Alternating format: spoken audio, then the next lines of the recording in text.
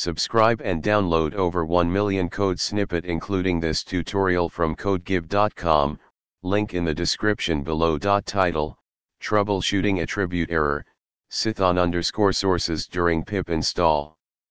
Introduction When working with Python packages, you may encounter various errors during the installation process. One common issue is the attribute error, Cython underscore sources error, which can occur when using the pip install command. This error is often related to compatibility issues between the package you're trying to install and the version of Cython installed on your system. In this tutorial, we will explore the causes of this error and provide steps to troubleshoot and resolve it. Prerequisites Causes of the error The attribute error, Cython underscore sources error is typically caused by an inconsistency between the version of the Cython package required by the package you're installing and the version of Cython installed on your system. The package may be trying to access an attribute that is not present in the installed Cython version. Troubleshooting steps. Check Cython version. Begin by checking the version of Cython installed on your system. Open a terminal or command prompt and run the following command. Ensure that the version matches the requirements of the package you're trying to install. If not, you may need to upgrade or downgrade Cython. Upgrade Cython. To upgrade Cython to the latest version, use the following command.